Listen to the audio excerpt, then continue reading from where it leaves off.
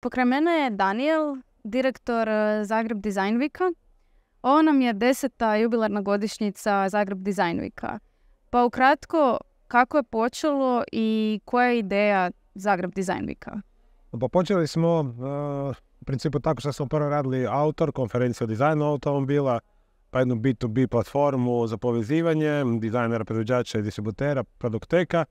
I shvatili smo nakon par godina da želimo veće događanje, pa smo se sa partnerima povezali i pokrenuli festival dizajna sa željom popularizacije dizajna u široj javnosti. A, glavna ideja je, osim predstavljanja brendova, da se i mladi ljudi mogu povezati s dizajnerima, ali osim toga imate i puno zabavnih događaja i događanja, pa nešto o tome.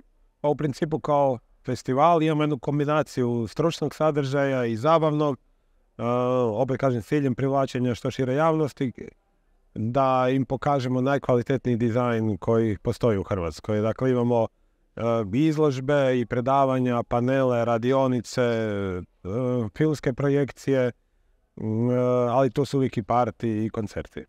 O važnosti i veličini Zagreb Design Weeka ove godine nam govori lokacija.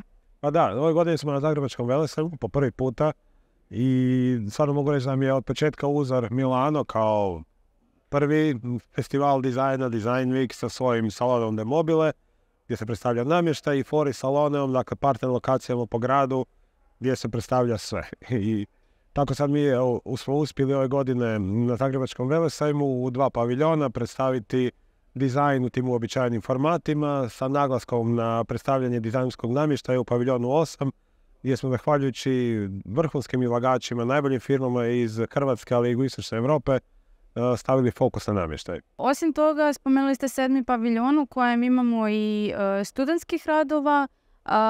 Zagreb Design Week dakle, ima i nagrada koje dodjeljuje i profesionalcima i e, studentima.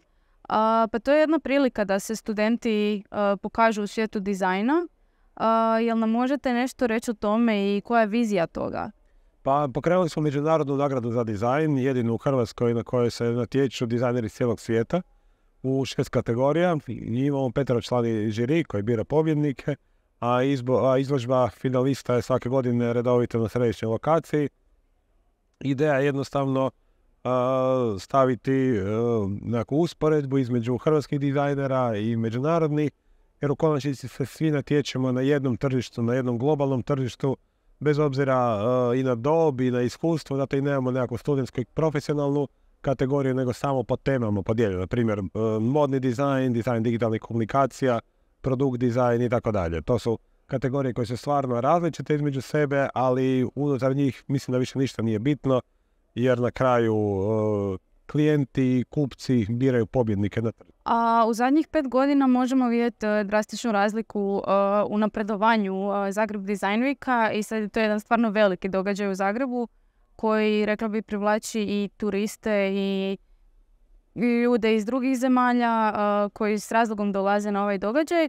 A mislite da ovaj događaj Zagreb Design Week može konkurirati i većim svjetskim događajima u dizajnu? Pa, festivali dizajna su uglavnom lokalni, osim ovih najvećih.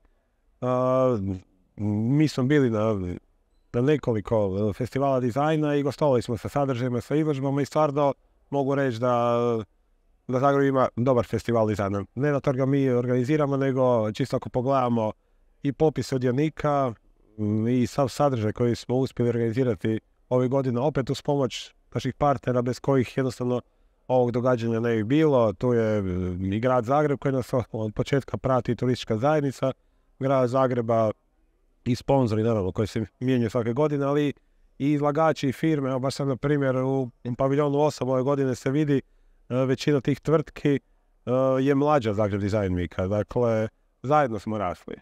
A za kraj spomenula bi da u organizaciji imate jako puno studenata koji doprinose pretpostavljam da će doprinositi svake sljedeće godine.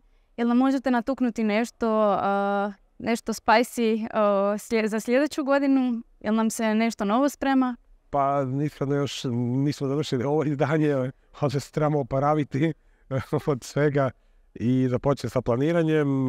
Siguran sam će biti nekih noviteta, zanimljivosti, u Hrvatskoj, na primjer, postoji bijenalna nagrada za dizajn koju organizira strukovno društvo HDD svake dvije godine.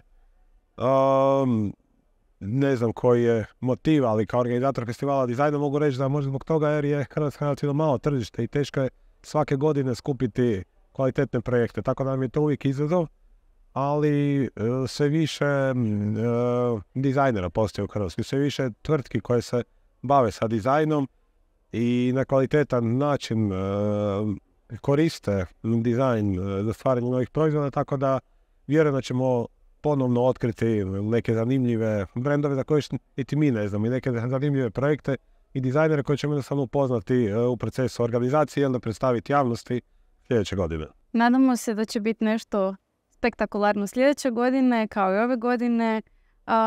To bi bilo to. Hvala vam na razgovoru. Hvala vama i dođite nam sljedeće godine na 11. izdanje Zagreb Design Week.